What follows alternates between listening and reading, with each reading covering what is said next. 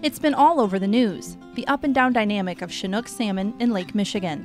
One week you're hearing that no anglers are catching kings, and the next week the story has shifted to report 20 pound fish with their stomachs full of alewives.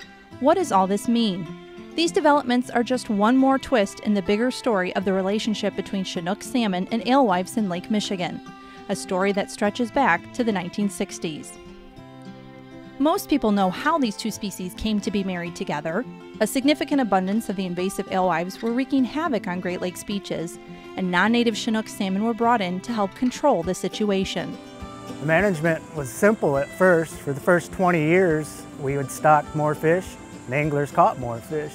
But then the productivity started to change in the lake, mostly due to invasive species like quagga mussels and zebra mussels. They totally changed the food web and sent a ripple effect through the Great Lakes and the sport fishing industry. These filter feeding mussels target the same food alewives eat, and rather quickly, the lake structure was turned on its head. 30 years of data collected by the DNR and partner agencies show the lowest abundance of alewives since sampling began. There are very few options to implement before a complete transformation in the fishery occurs. What can the DNR do? Much has been asked of the department and other state and federal natural resources agencies along Lake Michigan's coast to rectify the current Chinook salmon trend. Here are some options and their feasibility. Rear and stock alewives.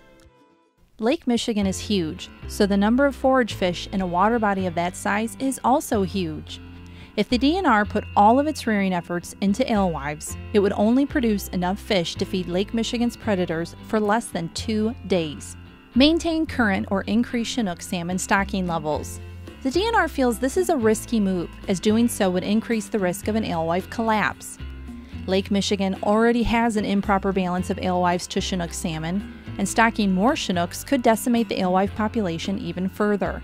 Additionally, wild Chinook salmon have been increasing their numbers and show the fishery is less dependent on stocked fish.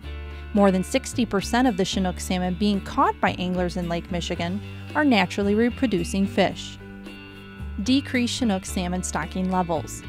Done previously by the department, this action would allow for a better balance between predators and prey.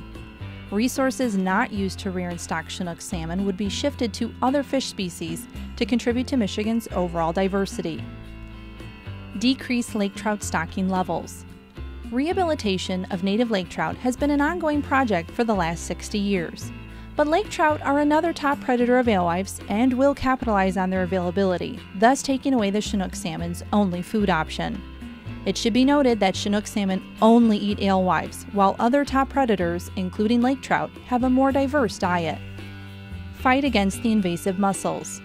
As sad as it sounds, there is little that can be done about the current population of zebra and quagga mussels found in Lake Michigan. Their numbers likely fall in the billions. At this point, all that can be done is protect against additional invasive species from becoming established in any of Michigan's waters. What can you do? Continue to fish. Rather than thinking about Lake Michigan the way it was 5, 10, 20 years ago, go out and experience Lake Michigan now. It could be really different, but also fun. The DNR is continuously working to properly manage Chinook salmon and other fisheries in Lake Michigan. For more information on this and other issues, visit michigan.gov/fishing.